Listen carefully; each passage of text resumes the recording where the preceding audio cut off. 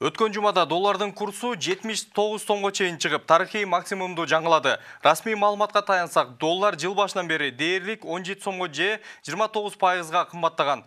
Канткенде каржы базарындагы кырдаалды туруктуу сактоого болот. Кыргыз өкмөтү көрүп жаткан чаралар жетиштүүбү? Сиздин канал НТСТ кайчы пикир берүүсү? Менин атым Мирбек Айтикеев, саламатсыздарбы? Студиянын бүгүнкү коноктору Улуттук банктын төрагасынын орун басары Нурбек Жеңиш жана экономист Кубан Чораев. Саламатсыздарбы? Алгачкы э, суроом ошол Нурбек мырза сизге болсо, жыл башынан бери долларына дээрлик 29 пайызга чейин кымбаттап, сомдун куну түшүп атканы э, расмий айтылып атат. Ушул аралыкта Улуттук банк 25 жолу каржы базарына интервенция менен чыгыптыр. Абал жөнгө салуу аракеттери көрүлүп атат, бирок сомдун куну түшүккөндөн түшүп эле баратат да. Эми бул муну жанагы глобалдык тенденция деп айтсак болот. Башка өлкөлөрдө эле карап көрүңүздөр ошо россия менен казакстанды биринчи январдын биринчи январдын эки миң он төртүнчү жылдан баштап жүз пайызга түшүп кетти. Рубльдин куну да теңгенин да куну эми россия менен казакстанга салыштырып көрсөк биздин абал кудайга шүгүр. Жакшы эле ошо эки биринчи январь эки миң он төртүнчү жылдан баштап биздин сомубуздун куну кырк сегиз пайызга эле түштү да эми ушул цифраларды салыштырып көрүңүздөр эми бул дүйнө жүзү боюнча уланып келаткан тенденция эми бүт валюталардын баары долларга карата түшүп келатса сомдун куну түшпөй койбойт да бул ошол валюталардын курсунун түшүүсүнө негизги кайсы факторлор таасир этип атат? Эми эң негизги өзүңөр билгендей өткөн жылы американын федеральный федералдык резерв системасы сандык жеңилдетүү программасын аяктаган ошого байланыштуу дүйнөдө болгон доллардын көлөмү азайды деп айтсак болот ошого байланыштуу ушул башка валюталардын куну да түшүп атат. Андан тышкары да өзүңүздөр билгендей э, эки миң он башында баасы жүз жыйырма доллар болсо азыркы күндө кырк үч кырк төрт доллардын тегереги болуп эми өзүңүздөр билгендей биздин эң биринчи өнөктөштөрүбүз бул россия менен казакстан алардын экономикасы азыр кыйын кыйыныраак абалда болуп жатат. Эми ошого байланыштуу биздин да кыргыздын экспорттору да россияга да казакстанга да көп чыкпай атат да. Ошон үчүн ага да байланыштуу рубль түшкөнүнө байланыштуу биздин мигранттар салган акчасы да азайып атат да. Мына айтып кетсем азыр ушул бүгүнкү карата маалыматка таянсам биздин мигранттардын түшкөн акчасы жыйырма сегиз пайызга түштү да ушу он бир айдын аралыгында кубан мырза бүгүнкү учурда учурда ушул улуттук банк менен өкмөттүн ушул каржы каржы рыногун баягы туруктуу кармоо боюнча аракеттери жетиштүү болуп атабы эми маселе мындай да бизде сомдун курсу түшүп кетсе эле улуттук банк канча жылдан бери баягы эски ырларын эски жоңокторун эле айтып келет да. Россияда же казакстанда же глобалдык рынокто кандайдыр бир өзгөрүүлөр болуп атат ошолор бизге таасир берип атат депчи. Албетте бул аргументтер негизсиз деп эсептейм да. Анткени биздин кыргызстандын өзүнүн э, валюталык рыногу бар. Ал бир мыйзамдар менен иштейт. Бүгүнкү күндө кыргызстандагы валюталык рынок өтө мындай кичинекей болуп калды да. Анткени себеби бизде баягы экономикабызда бул акча массасы өтө аз. Ал эми ал акча массасын көбөйтөйүн десе сомдун курсу түшүп кетет долларга карата мына мен сиздерге бир мен башка тиги казакстанды россияны айтпай эле коеюн могул динамика денежно кредитных показателей в январе октябре пятнадцатого года деп мына улуттук банк өзү мындай отчетун чыгарды кечээ күнү мына ошол отчетто эле карасаңыз мына прирост денежной базы был обусловлен операциями правительства которые с начала года увеличили ее на двенадцать миллиардов сомов дейт да демек улуттук банк биздин өкмөттөн ушул октябрга чейин биздин өкмөттөн же жанагы биздин кумтөрдөн келген а, долларлык акчаларды 12 миллиард сомго доллар сатып алышкан да. Менде эми суроо да эгерде сиз түшүнөсүз мына эгерде сомдун массасы экономикада көбөйсө бул доллардын кымбатташына алып келет туурабы. Бул закон ченемдүү мыйзам ченемдүү нерсе экономикада. Эми сиз айттыңызчы ушул 12 ошол октябрь бул 9 айбы 9 айдын жыйынтыгы да бул. 9 айда кандай максаттар менен кандай себептер менен сиз ушул өкмөттүн баягы тыштан келген гранттарын кредиттерин сатып алып аттыңыздар да? Бул кыргызстандын экономикасына келген долларды силер кыргызстандын экономикасына кой бербей аны сатып алып туруп стерилизация кылып резервиңерге салып койдуңар бул кандай максат менен жасалган нерсе да? Ушуну түшүндүрүп койсоңуз эми биякта сиздин маалыматыңыз туура акча базасы өстү ошо он бир он айдын аралыгында жыл башында өткөн жылга салыштырып көрөрмандарга түшүнүктүү кылып айтыш үчүн кыргызстанда сом жүгүртүү базарга көбүрөөк чыкты деген да андай деле көп чыккан жок мына акча базасы жыл башында алтымыш төрт миллиард сомду түзсө азыркы күндө алтымыш жети миллиард сомдун Үч тегерегин миллиард үч миллиард сомго эле анткени улуттук банк жана экономиканын өсүшүнө э, көмөк көрсөтүү максатында дыйкандарга кредиттик аукциондорго акча бөлүп берип атты жана жеңилтелген насаяларга эми биякта кубан мырза айтып атат ушу акча базасынын көбөйүп кеткен себеби ушул өкмөткө келген түшүп аткан долларды эле гана улуттук банк сатып алып атат депчи. Керектүү учурларда эле өкмөт деген ошо долларларын сомго айырып баштайт да пенсия пенсиялар жана башка соц пособиялар төлөнүп турчу убакытта да расход жасачу убакытта а мындай жөн убакыттарда расход кереги жок убакыттан ошол доллар түрүндө эле жатат да ошо өкмөттүн акчасы долларлары. маселе мында болуп атат да мисалы өкмөт ошол э, тыштан келген грант кредиттерди биздин коммерциялык банктарга сатса биздин коммерциялык банктарда доллар көбөйүп кетмек да. Сом көбөймөк эмес демек сом тескерисинче күчтөнмөк туурабы а силер ошо долларды сатып алып атсыңар а өкмөткө сом берип атсыңар өкмөт сомдун массасын багы алар сиз айткандай пенсионерлерге төлөп атат школ мектептерди салып атат жолдорду салып атат акча массасы ошол элдин колуна барып атат сом эл эмне кылып атат эл улуттук банкка ишенбейт ал выручкалардын баардыгын кирешенин баардыгын барат дагы кой биз долларга айлантып коелук деп кайра эле валюталык рынокко келип доллар сатып алып атат. Анан бир аз мындай ызы чуу болгондон кийин силер эмне кылып атасыңар? Кой доллар мындай ызы чуу болуп баратат деп интервенция кылып атасыңар. Жыйынтыгында силер ушул тогуз айдын ичинде он эки миллиард эки жүз миллион сомду сомго доллар сатып алыпсыздар. Эмеден өкмөттөн. Ал эми кайра? Интервенция аркылуу ошол өзүңөр берген сомду интервенция аркылуу кайра тогуз миллиард сомду кайра сатып алгансыңар да. Бул кандай чайкоочулук да мисалы бир колуңар менен сомду берип атсыңар бир колуңар менен сомду сатып алып атсыңар да.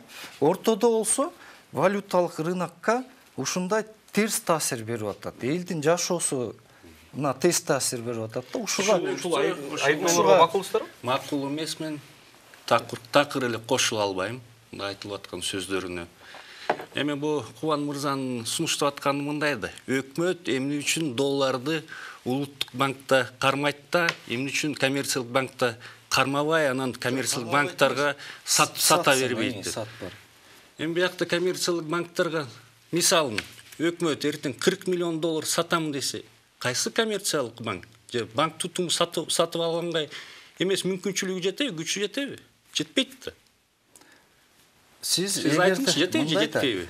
мындай да кырк миллион сатып алам десе кээде ошондой учурлар болот кырк миллион. Анан ким анын аягы ким алат жок аягы улуттук банктын эле күчү жетет ошо кырк миллион долларды алып туруп сомго айырыштырганда анан ошентип силер э, сомду арзандатып коюп атасыңар да туурабы мен кандай логиканы түшүндүрсө болот да улут ошол акчаны мындай прогноз силерде отурасыңар канча специалист отурат прогноз жасап туруп акырындан сатса болот да кырк миллионду эки жуманын ичинде сатса болот кандай мындай? 40 миллион долларды эки жуманын ичинде эч ким банк тутуму сиңире албайт өзүңүз айтып атпайсызбы биздин валюта рыногубуз кичинекей болуп калды деп. Анда анда сиз өкмөткө айтпайсыңарбы биз биздин банк түтүмү сиңире албай жатат биз силерге сом берип койсок силер сомду кайра кашайтасыңар валютный рыноктон ошондуктан силер школ салсаңар доллар менен төлөгүлө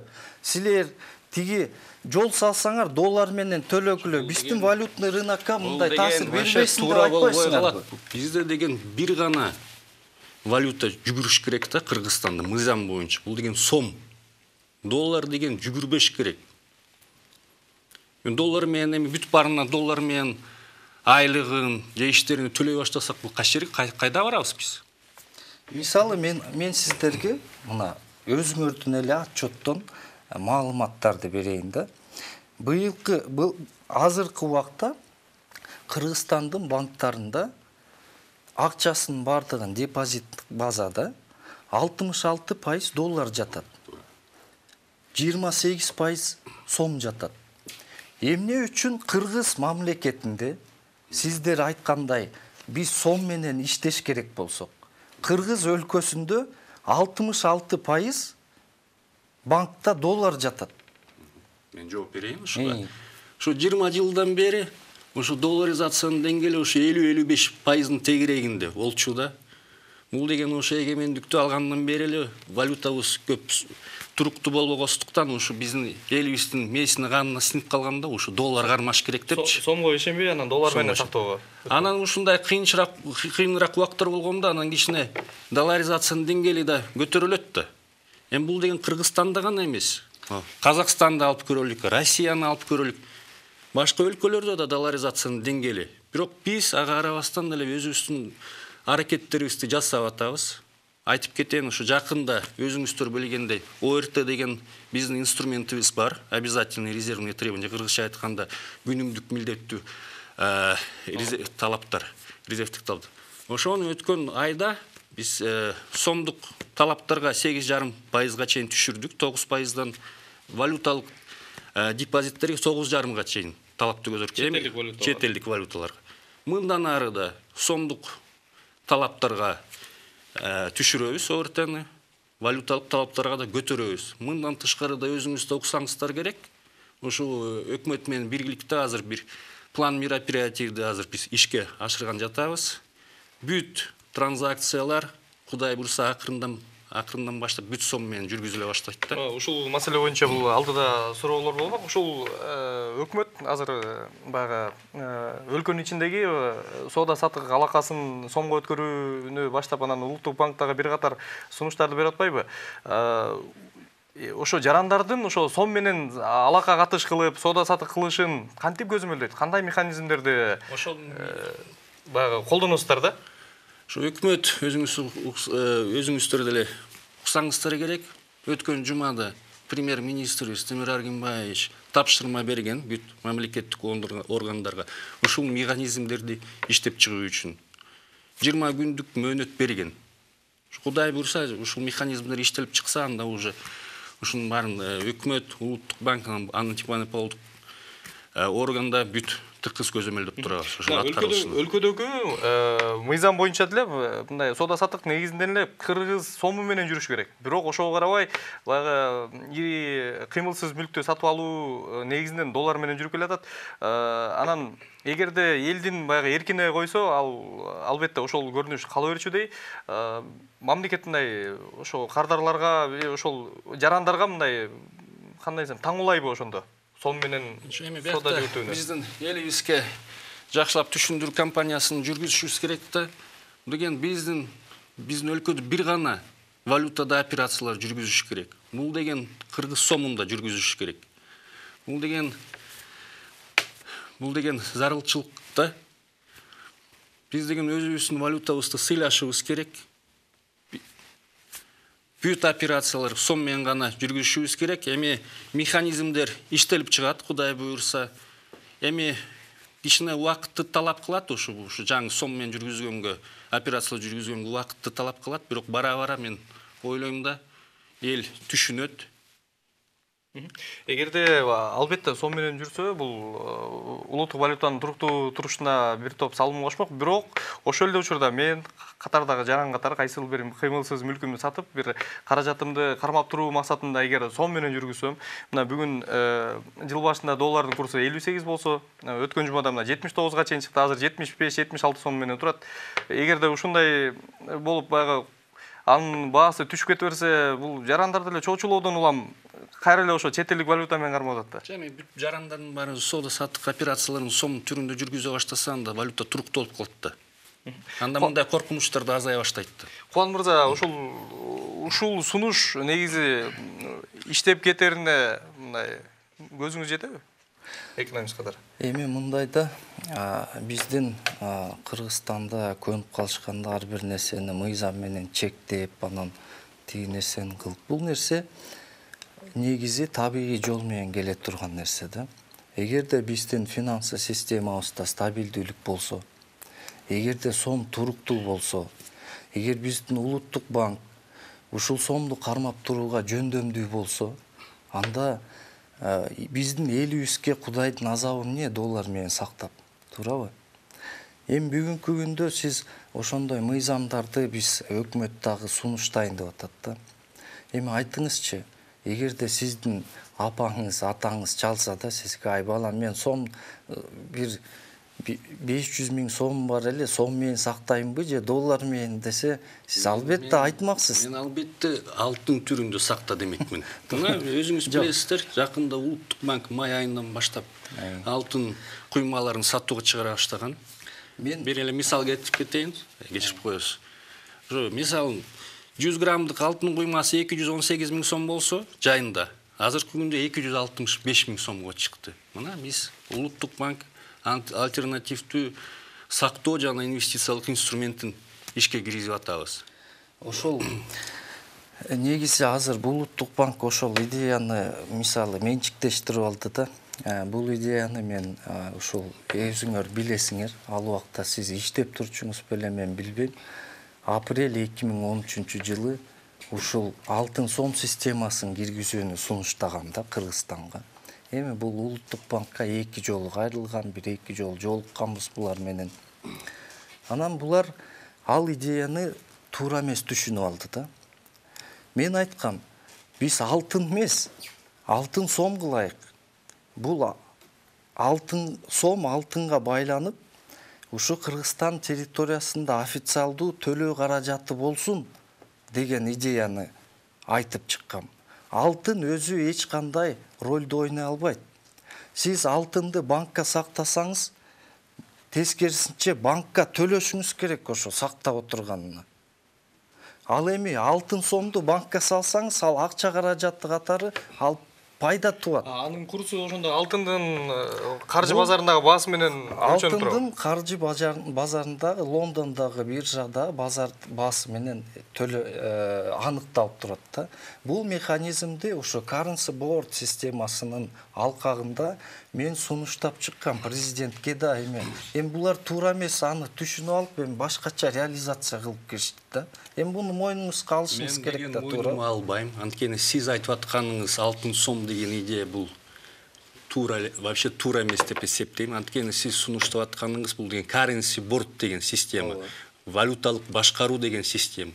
Эми бияка мен ушу кубан мырза ушу төрт беш жылдан бери эле ошол идея менен эле тажабай эле жүгүрүп жүрөт да бүт президентке да барып атат бүт массалык маалымат каражаттарын аркылуу да кайрылуулар жасап атат ушу биз currency бордту же валюталык башкарууну киргизип салсак эле биздин өлкөбүз жыргап кетет сомубуз туруктуу болуп калат деп эми бул деген бизге такыр ылайык келбейт анткени мен аргументтерди аргументтер биздин экспорт менен импорт менен айырмасы канча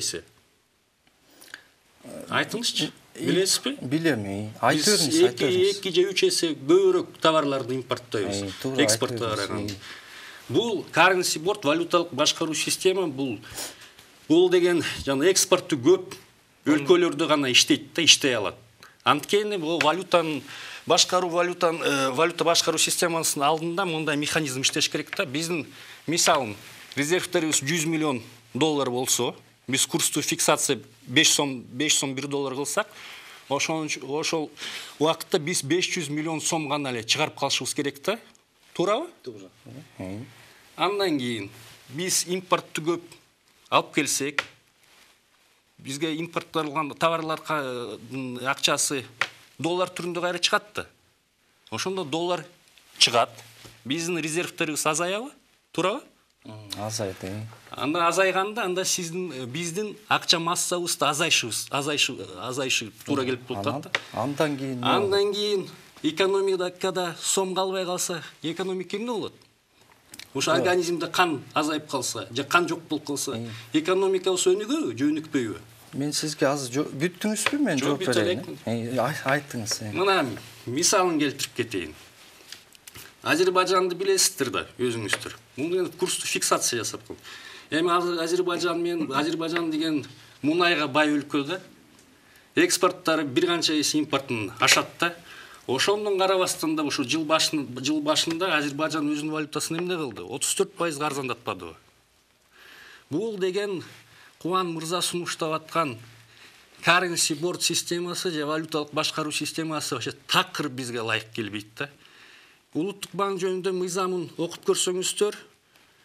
Биз деген экономикасынын өсүшүнө да өзүбүздүн көмөгүбүздү көрсөтүшүбүз керек деп жазылган биз ошону алкагында ошо мыйзамды алкагында биз экспортко багытталган өндүрүштөрдү колдоп атабыз акча берип атабыз жеңилтилген насыяларды берип атабыз.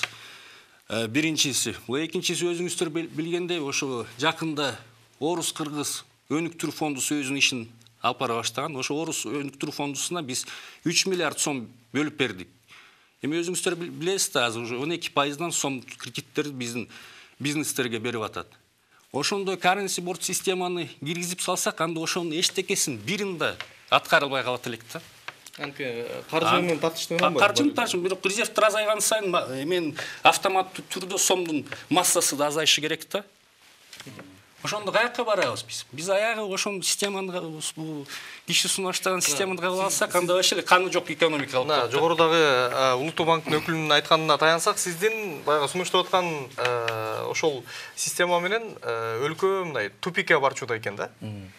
Эми мен мен билбейм эми кечирип коюңуз мен ушундай улуттук банктын ушу төрагасынын орун басарынын баягы сиздин аналитикалык деңгээлиңизди эми көрдүм да эми баягы кечирип коюңуз бирок мен мен азыр сизди угуп атып абдан таң калып атам да эми ошодон мен баягы жыйынтык чыгарып атам кандай жетекчилик улуттук банктын башында отурганыначы экинчиден бул кишинин айтканын айтайын да мисалы маселе мындай. Бизде кыргызстанда акча акча массабыз сиз өзүңүз бул жерде отчетто жүрөт а, денежный база э алтымыш жети миллиард сом туурабы сиз айтып атасыз биз currency board системасына өтүп кетсек такыр эле акча калбай калат деп калбай калат анткени импорт аркылуу долларлар мен чыгат да. мен сизди уктум эми сиз мени уктуруңуз пожалуйста. Бул жерде маселе мындай да. Биздин ички дүң продукциябыз бир төрт жүз миллиард сомго жетпеген акчаны түзөт бүгүнкү туурабы өнүккөн өлкөлөрдө мындай экономикасы туруктуу өлкөлөрдө канча ввпсы канча болсо коэффициент монетизации ошого барабар төрт жүз миллиард болсо биздин экономикада төрт жүз миллиард акча болуп эл- элде акчага тартыштык заман болмок эмес бүгүнкү күндө улуттук банк өзүнүн саясаты менен могундай система менен биз эмнеге алып келди бүгүнкү күндө биздин коэффициент монетизациябыз сом менен алганда он сегиз пайызга келип жетти бүгүн акча тартыш болду эмне үчүн биздин коммерциялык банктар сом менен кредит бербей жатат же сом менен кредит берсе отуз алты кырк пайыз менен берип атат биз тетиги токсон бешинчи жылга кайра кайттык кризистик жылдарга эмне үчүн болуп атат анткени себеби акча жок.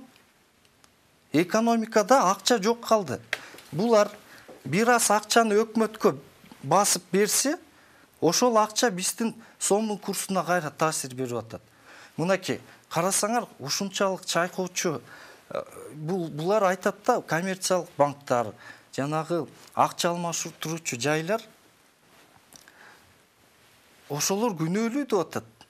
Эң алгачкы чайкоочу өзүңөр болуп атпайсыңарбы мен жаңы эле примерде. Биз кичине темадан кичине башка жерге кетип жок жок баратабыз. азыр мен э, жөнүндө система Мен- мисалы эми мындай currency board системасы. Өзүңүз айтып атасыз ошо акча тартыш болуп атат. Ооба, а мен суроо бербедимби сизге? мен эми түшүндүрөйүн. boardду ишке ашырсаңыз ишке ашырса мен азыр жок түшүндүрөйүн currency boardдун системасын. Бизде кыргызстанда улуттук банктын резервинде мынакей менде акыркы силердин маалыматыңар турат э бир миллиард сегиз жүз миллиондун тегерегинде акча турат резервде ооба туура өлкөбүздүн экономикасында алтымыш жети миллиард сом тегеренип жүрөт эми алтымыш жети миллиардты жетимиш беш деген бүгүнкү курс менен бөлсөңөр канча болот сегиз жүз миллион доллар болот демек биз currency board системасына өтүш үчүн ошол сегиз жүз миллион миллион доллар жетиштүү сомду бүгүнкү курста кармап туруу үчүн андан тышкары биз резервти экиге бөлгөнгө мүмкүнчүлүк түзүлөт экинчи бөлүгү бир миллиард доллар бүгүн банк системасына канча биздин жарандар жана ишканалар банк системасына канча акча карыз мына бул жерде отчетуңарда турат токсон төрт миллиард сом карыз элдин баардыгын ушул система менен сиз мактап аткан система менен карызга белчесинен батырып өлтүрө турган болдуңар эми currency board системасы туруктуулук алып келет currency board системасы мына өткөндөн кийин анан жанагындай чектөөчү мыйзамдарыңарды чыгарып берсеңер болот эмне үчүн анткени currency board системасына өткөндөн кийин сомдун менен доллардын айырмасы жок болуп калат. Элге доллардын кереги жок болуп калат. Ошол. элдин колундагы банктардагы доллардын баардыгы сомго айланат. Биздин резервдер азыр бир миллиард сегиз жүз миллион болуп атабы он миллиардка чейин чыгат кыргызстандын резерви экинчиден мен сизге мисал келтирейин. Бүгүнкү күндө currency board системасында жанагы тектеш системасында алтымыш мамлекет иштейт. Экспорттун импортко Эми- салыштырмалуу анализдеп көрдүңөр беле ошол эми сиз анализ кылдыңызбы Жок, сиз эмне кылдыңыз үчүн эмне үчүн Си- сиз жактап жаткан банк системасында проценттер бийик currency board системасында проценттер американ проценттер менен бирдей болот экинчиден мен сиздерге айта турган нерсе айтыңыз. Мага тоскоол болбой турсаңыз бир аз currency board системасы мына ийгиликтүү литва мамлекетинде иштеп келди алар быйыл эле быйыл биринчи январга чейин еврого байлап келген акчасын currency board системасы. Эми айтайын бул киши айтып атат биздин кыргызстанда экспортубуздан импортубуз үч эсе чоң. Бул эмненин айынан чоң болуп атат. Жок, ошол э, импорты көп мамлекетте сиз айтып аткан currency board системасы ийгиликтүү иштеп кете алабы?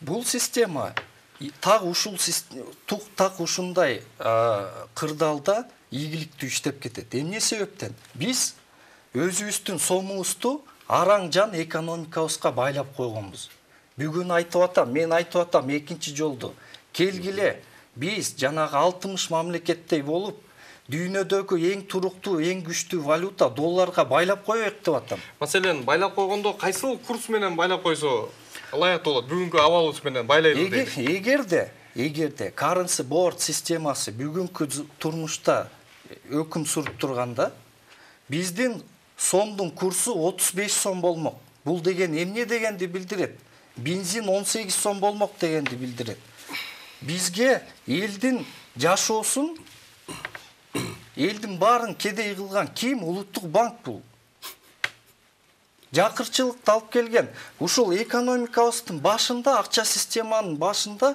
чайкоочулук кылып анан өздөрүн аппак периштедей кылып тетиги банктарды күнөөлөп отурат мына ошондой системада мындай жооп берейин. Ошо ушул жооп берейин. пикирлерге жооп берсеңиз. айтып атат ушу туруктуу болуп калат валюта бул деген эч кандай туруктуу болбойт сиз бир нерсени түшүнбөйт экенсиз кубан мырза. Импорттор кайсы булактан каржыланып атат биздин резервтердин азыркы күндө сиз машина айдап жүрөсүзбү бензин каяктан келип атат ошолордун баары резервтерден азыр каржыланып атат да. Каржыланган соң доллар түрүндө чыгып кетип атат резервтер азайып атат канчанкыга чейин ошону кармай албайсыз? кантип каржылап атасыз? Интервенция менен интервенция мындай да. Бүтө элекмин эми шартты бүтө. өзүңөр түзүп атпайсыңарбы өкмөткө сомду печатать этип берип биз печатать эткен жокпуз ким печатать кыргызстанда сиздин улуттук эмеңизге банк болбосо хорошо мисалын биз жана сиз айткандай отуз беш сом менен кармап туралык анда биздин өндүрүшүбүз эмне болот кыргызстанда биздин реальный эффективный обменный курс деген немени уктуңуз беле азыр деле байкап көрүңүздөр. Азыр биздин сомубуз элүү пайызга гана түштү да элүү пайыздын тегерегинде долларга карата. Россиянын рублі жүз пайызга түштү долларга карата. Казактын теңгеси жүз пайызга түштү долларга карата. Азыр бул дүкөндөрдү базарларды кыдырып көргүлө бүт казак продукциясы беларусь продукциясы россиядан продукция келе баштады. Ушундай эле кармап сомду аябай күчтүү кармаганда сиз айткандай. Ана вообще эле биякта биздин өндүрүшүбүз эчтеке өндүргөнгө вообще пайдалуу болбой калат да вообще өндүрүш токтоп калат да эми айтыңызчы сиз жактаган ушул азыркы улуттук банктын системасы дүйнөдө болбогон эң кымбат кредиттерге алып келсе биздин кыргызстандагы бизнесмен ошол кырк пайыздык кредит алып ишин баштай алабы ошол банкка ошол кредиттерди төлөй алабы маселе Сиз- ошодо Сиз туура айтып атасыз. саясатыңыз Азыркы туурабы азыркы ошол азыркы саясатыңыз күндө пайыздык өлчөмү кичине чоңураак болуп атат. Сиз айтып кеткендей Чоңураак эмес, 35 чоң. 40 пайызга жеткен Эй. жок. Анткени сүткөрчүлүккө каршы мыйзам кабыланган. Орто банк э, Орто банк процентный ставкадан 15 процентке ашпаш керек. Ошон үчүн 40 Сом мененби же сом менен? доллар? Сом менен. Ошон 35 36 тегерек керек. Бул деген өйдөнкү чектөө да а- андан өйдө көтөрө албайт коммерциялык банктар. Анткени көтөрсө ошо мыйзам бузушуна алып келет да моментал- моменталдуу түрдө. Эми биз ошол ситуацияны карап туруп ошон үчүн биз биздин айыл чарбасын колдоо максатында ошо эки жылдан бери беш жарым миллиард сомдон ашык акча каражатын бөлүп бердик жеңилдетилген кредит түрүндө берилип атат фермерлерге экспорттук потенциалды көтөрүш үчүн биз жанагы экспортко ба- багытталган өндүрүштөргө акча бөлүп берип атабыз орус кыргыз өнүктүрүү фондусуна акча бөлүп берип атабыз ошо өзүңүз билесиздер уже он эки пайыздан уже ушул фонд өнүктүрүү фондусу уже насыялар жеңилдетилген насыяларды бере баштады уже. Э, ошол эле учурда сиздер э, азыр э, анан дагы мен айтып кетейин кечиресиз ушу айтып атат биз. Эң биринчи чайкоочу бул улуттук банк депчи. Бул киши ошол ошол боюнча иши берсеңиз. эми бизде демократия да. Айт- эми айта берет да өзүнүн Жок, жеке ой пикирин билгенге укуктуу бул киши мойнуңузга аласызбы Мен албайм сиздин он эки жок сиз өзүңүз жазып атасыңар улуттук банктын отчетунда он эки бүтүн ондон эки миллиард сомго сиз өкмөттөн доллар сатып алыпсыз деп. Бул өзүңүздүн жазганыңызды өзүңүз мойнуңга аласызбы өкмөттөн сатып алды. Ии, сатып алдыңар, өкмөт жол салыш керекпи жок ошол Пенсия акча төлөш керекпи? ошол акча биздин сомдун курсуна таасир этеби же этпейби? Ошол акча түздөн түз таасир этпейт. Бюджеттик дефицит чоң болгон күндө ошол бюджеттик дефицит уланып келаткан күндө ошол таасир кылат. Э, таасир кылат экен. Анан таасир кылгандан кийин мен сүйлөп атам таасир кылгандан кийин ошол сомдун курсу түшкөндөн кийин силер кайра тогуз жүз тогуз миллиард сомду биздин рыноктон интервенция кылып сатып алыптырыңар туурабы бул максатыңар ошо берген масса акчаны кайра алып коюш болуп атат да рыноктон буну мойнуңузга аласызбы ушул сиздин отчетуңуз негизги максат эмес бул сомдун көлөмүн азайтуу үчүн биз деген курсовой скачоктор болгондо ошо курсовой скачоктор же жумшартуу максатында гана эле чыгып турабыз да. Анткени гсм гсм бүт баарыбыз өзүңүз билесиздер э, биздин өлкөбүзгө миллион тонна жылыга керек болот да ошо күйүүчү майлардын. Бул миллиард доллардын тегерегинде сумманын жүзү андан тышкары билесиздер былтыр э, токтогул суу сактагычында суу аз болуп биз казакстандан электр энергиясын импорттоого муктаж болгонбуз ошолордун баарын доллар менен алгансыздар доллардан алынган да бүт баары. Ошонун баарын ошол үчүн эми интервенция менен чыгып импорт эметип атканбыз да азыр э, кийинки мына убакыт э, баягы соңуна чыгып баратат ошондуктан бере турган суроолорубуз бар. Ушул э, улуттук банк э, акча алмаштыруучу жайларындагы чайкоочулук менен алектенип ошонун негизинде дагы доллардын курсу мындай э, кайсы бир деңгээлде көтөрүлүп атканын айтып анан аларды баягы тескеп жөнгө салуу боюнча мыйзамды өзгөртүп айып пулду көбөйтүү жана башка сунуштар менен бир жылдан бери келатасыз- келатасыздар да а ошол эле учурда ошол акча алмаштыруучу жайлар болсо кайра сиздерди айыптап келет сиздер чыгарган интервенциялап чыгарган долларлар чет чет жактарга чыгып кетип атат биздин колубузга тиген жок реалдуу түрдө эгерде андан тышкары дагы ошол биздин баягы лицензиядан ажыратып коебуз эгерде доллардын курсун баягы көтөрсөңөр деп баягы таңуулап атат деп дагы баягы айыптоолорун кайсы бир маалымат э, сайттарына бергени бар да. Акча бар сайтына бериптир ошентип ушу улуттук банкты күнөөлөп атышыптыр да. Эми бул деген жана акча алмаштыруучу жайлардын немесин караш керек да эң негизги максаты эмне? Булардын эң негизги максаты акча табыш да киреше көрүү ушундай чайкоочулук убакыттарда ошо чайкап туруп ошолор кирешени көрүшөт да. Азыр жана массалык маалымат каражаттарына чыгарып аткан маалымат бул деген өзүн акташ үчүн гана чыгарып атышат да. Өзүңүз ошо жакында көрдүңүздөр ошо жетимиш беш жетимиш алтынын тегерегинде эле болуп атканда анан бир коммерциялык банктын э, жетекчилиги же шалакылык кылдыбы же атайын келишип алып сүйлөштү ушу курсту көтөргөндөн кийин эле обменкалар ошого такап эле сразу жетимиш тогуз сексен сомго чейин барышпадыбы. Андан кийин алар эмне кылышты? Анан биз интервенция менен чыккандан кийин э, курс ылдыйладыбы жетимиш алты сомго алар жанагы дол- дол- долларларын ушу кымбат сата албай ошо айлалары кетип атышат ошон үчүн ошондой сексен бешке чыкса жакшы болот эле деп атышат да. Ошол э, сиздер интервенциялап э, чыгарган э, долларлар ошол кыргыз кыргызстандын базарында калып атабы же казакстан россияга чыгып кетип атат? Келип туруп эле мындай дүңүнөн эле сатып алып кетип ошондуктан валюталык тартыштык жаралып атат деген дагы прогноздор айтылып келет да. биз Евр- евразиялык экономика биримдигине киргенден баштап ушу августтун кирдик ошо августтан сентябрь айына болгон э, данныйларды ошо торговля боюнча данныйларды анализдеп чыктык бүт канча казакстандан канча товар кирип атат канча чыгып атат россияга канча товар кирип атат россиядан канча товар чыгып атат канча акча чыгып атат. Ошо октябрдын э, э, айына карата ушу келген валютанын суммасы чыккан валюта суммасына барабар болуп атат. Жок э, мындай ошол эле акча алмаштыруучу жайлардан же коммерциялык банктардан келип алмаштырып эле мындай товар түрүндө эмес а акчалай түрүндө ошо акча түрүндө айтып атпаймынбы? Ушу казакстанга бүт жана биздин чек арада э, налоговиктер турушат да. Ошо бир декларациясынын негизинде биз анализ жасап чыкканбыз. Ошо чыгып аткан анан кирип аткан акча көлөмүндөрү валютанын көлөмү ушу барабар болуп атат да. Бүгүнкү күндө баягы сексен беш токсонго чейин реалдуу курс ошондой улуттук банк баягы күчкө салып кармап турат деген демек биз эч ким күчкө салган жокпуз.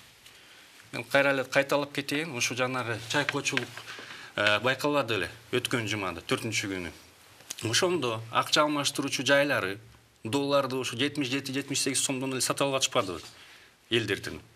Ошол кымбат сатып алып азыр биздин интервенция жасагандан жетимиш алтыга түшкөн. Ошону кымбат сатып алып азыр кымбат сата албай айлалары кетип атышат да ошон үчүн сексен беш болуш керек деп ошо ак- акча алмаштыруучу жайлардын баягы айып пулду бир жарым миң сомдон жүз элүү миң сомго чейин көтөрүүнү демилгелеп келесиздер. Бул эгерде механизмдер ошол мыйзам менен бекемдеп берсе жогорку кеңеш өтсө ошондой жолго түшсө э, валютаны туруктуулук карма- кармап калууга ошо чайкоочуларды тескөөгө мүмкүнчүлүк ачылабы мүмкүнчүлүк ачылат деп ойлойм мен терең ишенем мен дагы айтып кетейин ушул акча алмаштыруучу жайлардын айып пулун көбөйтүү маселеси бул өткөн жылы эле улуттук банк тарабынан көтөрүлгөн.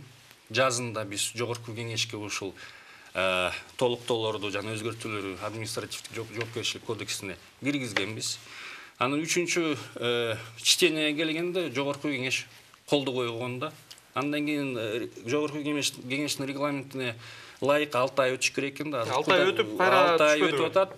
Биз ушу кудай буюрса кайра киргизип атабыз да ошону жогорку кеңеш ошол демилгебизди колдоп берсе кудай буюрса бул ички валюта рыногун биз жөнгө сала алабыз деп бул баягы акыркы жумада көңүл борборунда чыкты элдин бул баягы доллардын курсу боюнчачы азыр бизди баягы миңдеген көрүүчүлөр көрөт алдыда прогноз кандай доллардын курсу дагы кескин өсүп кетүү коркунучу байкалбайбы улуттук эми банк тарабынан? кескин өзгөрүп кетишине улуттук банк жол бербейт биздин валюталык камдарыбыз жетишерлүү импорттун көлөмүнө салыштырсак азыр төрт жарым ай импорттунан барабар бул деген жакшы көрсөткүч биздин валюталар резесторибиз дагы бир жолу кайталап жетишерлүү ошого кескин түр- э, түрдө өзгөрүп турчу э, нерселерге биз жол бербейбиз керектүү учурларда биз валюталык интервенциялар менен чыгып турабыз андан тышкары арзандашы мүмкүнбү доллар эми өзүңүздөр билесиздер да. Тышкы факторлор да бизге да таасирин тийгизип атпайбы. Эми россияда кандай болуп кетет казакстанда кандай болуп кетет? Биз деген ачык э, экономикасы бар өлкөбүз да. Анан тиякта болуп аткан нерселер өзүнүн таасирин да тийгизбей койбойт да. Ошон үчүн бул курстук э, сомдун курсун прогноз болжомолдош бул деген аябай. Кыйын нерсе да сиздин божомолуңузда ошол кыргыз сомунун келечеги кандай алдыда? Доллар менен болгон э, байланышы. Эми могул мен азыр сүйлөшүп жатканда бул жетекчиликтин баягы ой жүгүртүүсүн баягы эмесин анализин көрүп мен азыр э, бир жыйынтык чыгардым да булар оңолбойт экен депчи мына булар айтып атат э, өкмөткө өкмөттөн тыштан келген биздин өкмөттүн бюджети бир жүз жыйырма миллиарддын тегерек түзөт ошонун үчтөн бир бөлүгүн тыштан келген грант кредиттер да эми жана бул өзү айтып кетти эме мырза нурбек мырза биздин экономикабызда импорттун көлөмү үч эсе экспорттун көлөмүнөн көп ошол ошол ажырымды эмнелер жаап атат бүгүнкү күндө ошол кредит менен гранттар жаап атат анан биздин мигранттардан келген акчалар жаап атат демек мына өздөрү да айтып кетти биздин кыргызстанга тыштан келген валюталык кирүүлөр тышка чыгып чыгып кеткен акча менен болжолдуу барабар депчи. Демек кыргызстандын экономикасында сомдун арзандашына эч кандай фундаменталдуу фундаменталдуу. Мен аз угуп Казакстан туруңуз менен угуп Орус, туруңуз Ра- Э, Россиянын кыргыз менен угуп туруңуз ортосунда болгон мамиле Фу- соода фундаменталдуу эч кандай Сиз бияка себептер жок эң чоң себеп эң чоң себеп. Ошол жанагы кирип келген грант кредиттерди булар айтып атпайбы. Биз пенсия беришибиз керек мектептерди курушубуз керек. Биз ошолорду сатып алып буларга сом басып беришибиз керек деп. Бул саясатын булар уланта берсе анда биздин сом жума сайын ушинтип би- бир сом эки сомдон отуруп бир жылдын эмки он алтынчы жылдын аягына кыргызстанда сом деле калбай калат мындай темп мененчи аңызта эле силер сомду түгөттүңөр экономикада ишенич жок эми биз улуттук банкты түгөнгөн жок акча улуттук базасы улуттук банкты жок токтоп турбайсызбы эми мен мен сиз сүйлөп атканда перебивать эткен жокмун жок сиз бул убакыт соңуна чыгып баратат ошондуктан сизден кечирим сурайбыз бирок э, сиздин божомолуңузда кыргызстан сомдун келечеги кандай болушу мүмкүн сомдун келечеги мен кыргызстандын тарыхында ушунчалык а, шалаакы улуттук банктын жетекчилигин көргөн эмесмин. Ошондуктан бул жетекчилик отурганда сомдун тагдырын катастрофа күтөт. Мен буну эле айта алам. Сиз эмне сунуштайсыз мен сунушумду айткам жана currency board системасына өтүшүбүз керек. Тездер ал системаны дүйнөдө. Мен бардык экономисттерди талдап жүрөм да дүйнөдө эң таасирдүү деген жыйырма беш экономисттин бири стив ханке профессор Джон Хопкинс университетин Россияга жана Казакстанга да бул системаны сунуштап атат. Forbes журналынын эң башкы редактору Forbes бул системаны Казакстанга сунуштап атат. Биз ушундай кризис кырдаалдан чыгып кеткиш үчүн биз ушундай туруктуу системага өтүш керек деп. эл аралык эксперттер сунуштаган рекомендациялардын деле жыйынтыгын көрүп атабыз биз жыйынтыкты көрбөй угуш керек ошону биз коштошуу берсек э Э, сиздер кайчы пикир берүүсүн көрдүңүздөр биз бүгүн доллардын тынымсыз кымбаттоосу каржы базарындагы абалды талкууга алдык программабызга улуттук банктын төрагасынын орун басары нурбек жеңиш жана ошондой эле экономист кубаныч чораев катышты берүүнү мен мирбек айтикеев алып бардым. Кечиңиздер көңүлдүү улансын.